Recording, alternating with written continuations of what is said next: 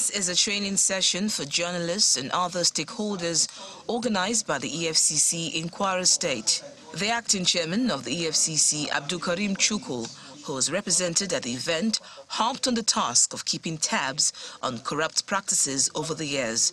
According to him, it's been a heavy task, and collaborations with professionals like the press will make things much easier.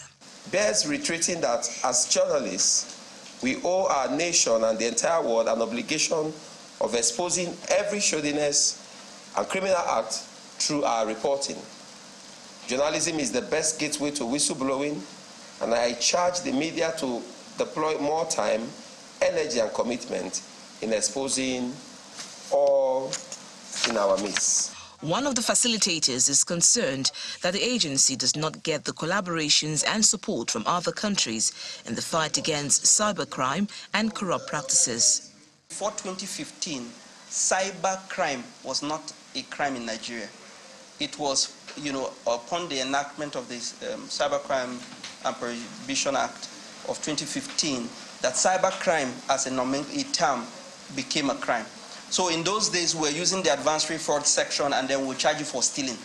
So even amongst our neighbors in Africa, they have issues of laws or passage of laws. As I speak in the West African region, not all the countries have passed Cybercrime Act in their own jurisdiction. So in the event that monies from cybercrime move to a jurisdiction they don't have that law, it's not a crime in their place. Somebody just dashed the money.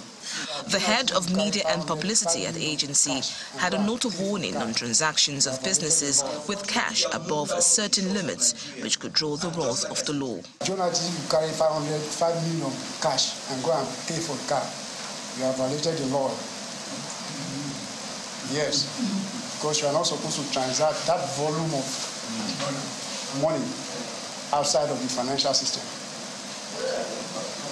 if you want to buy a car six million, for instance, you need to pay to the bank, to your bank account, so that that transaction can be traced.